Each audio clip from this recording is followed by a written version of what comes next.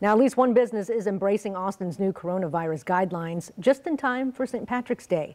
John Erwin owns J.D. Riley's Irish Pub with one location on 6th Street and the other one in the Mueller development.